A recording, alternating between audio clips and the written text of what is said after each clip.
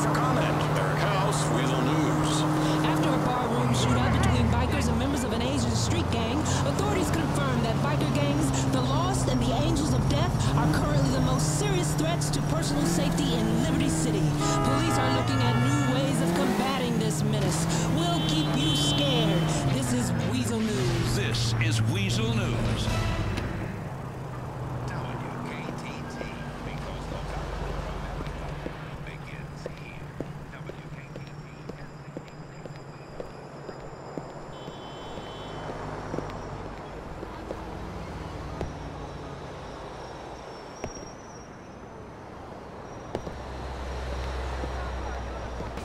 Walking stick, blind Stay boy? away. I ain't selling shit, my dude. Keep it moving.